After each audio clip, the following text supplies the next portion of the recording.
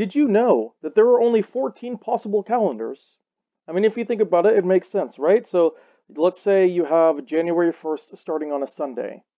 Then you have January 1st starting on a Monday, and then a Tuesday, and then a Wednesday. And you go through all the days of the week, you know, that's seven. And then you have to account for the possibility that it's a leap year. So multiply that by two.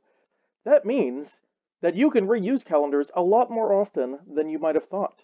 Welcome to CERJ Media, and today I'm going to show you how and when to reuse calendars more efficiently than last time. So if you didn't know, back in early 2020 I made a video about reusing calendars, and although I think it was an okay video, I feel like I went on a lot longer than I needed to, so this is going to be kind of like that video, but a lot shorter and condensed and easier to understand. Basically everything you need to know about reusing a calendar is right here on my screen. So for example, if you have a year that takes place in 2021, which is three years from a leap year, that means that the most recent calendar that you could have reused was 11 years ago in 2010, and the most recent calendar that you will be able to reuse is in 2027. Now everything you see on the screen is basically self-explanatory, although I might need to explain the four years until the next leap year. Also, this right here says 23. In reality, it's only 6. I somehow didn't realize that when I was editing this video. I did make this comment down here, but um, it is supposed to be 6. But, uh, well, I explain it right here.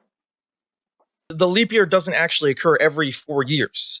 Um, it occurs every four years unless if that year is divisible by 100. So every 100 years, um, you will have a year divisible by 4 that is not a leap year.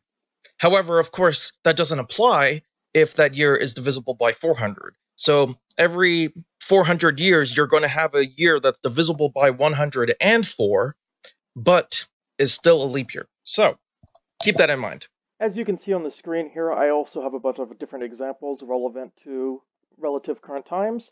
So for example, in the year 2022, our next reusable calendar will be in the year 2033, and our most previous reusable calendar was in the year 2011, because 2022 is two years away from a leap year, so you subtract 11 and you add 11.